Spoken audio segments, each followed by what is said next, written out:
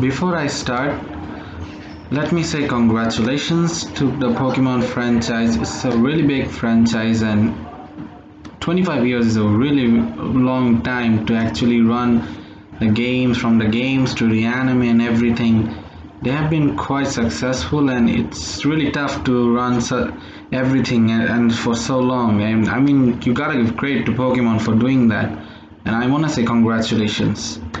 Now, coming to the news the news just came for two games.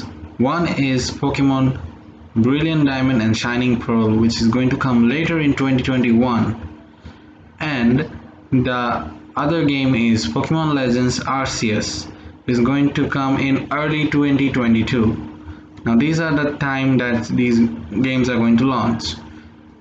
And the starter Pokemons were quite surprising, like starting with Cyndaquil, the fire type is going to be Cyndaquil, grass type is going to be Rowlet, and the water type is going to be Oshawott.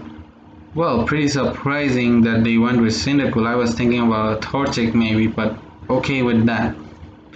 And now the biggest news comes in that is the region is going to be Sinnoh. So they're going to make a Sinnoh remake remakes version of Sinnoh region and which is quite I mean it's been a really long time and Sinnoh has been one of the most favorite regions of most most of the fan base of Pokemon actually likes Sinnoh region so it's really good they have stick with it and decided to make a remake version of it.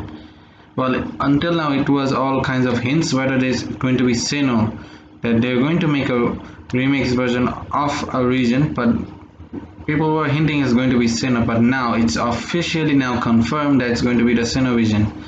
So can't wait for everything to happen. Maybe later in 2021 uh, everything is going to be a big storm later this year.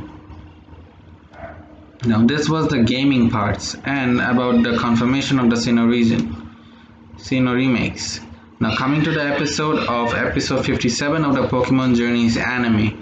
Well this anime well it was about the professor professor assistant Kikuna's Ikuna's love story or sort of love story. Well, in the preview we were we were guessing that it's going to be an episode of love story, but actually it's not. It was about a side, a love is Psyduck. The name of the episode was Love is Psyduck, but still, Koharu, or you can say in English, is whose name is Chloe, was out of sorts because her father and mother were both were busy so Kikuna decided to take her along on a house for a day for a night.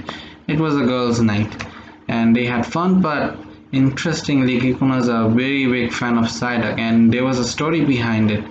Kikuna wasn't sure whether she's going to go ahead with her research work in life but then uh, a Psyduck came in and actually helped her helped her motivated her in some way so, but Koharu misunderstood, and that's where the fun, funny part came in. And he actually thought that the Psyduck's owner was the man that Kikuna was in love with, but actually that wasn't the case. Kikuna adored that Psyduck. And at the end, everything was concluded, and it was really a funny episode. Uh, not so sure about I liked it because I'm a person that likes battling and stuff about Ash Ketchum or even go bonding with his Pokemon is something I don't really mind watching.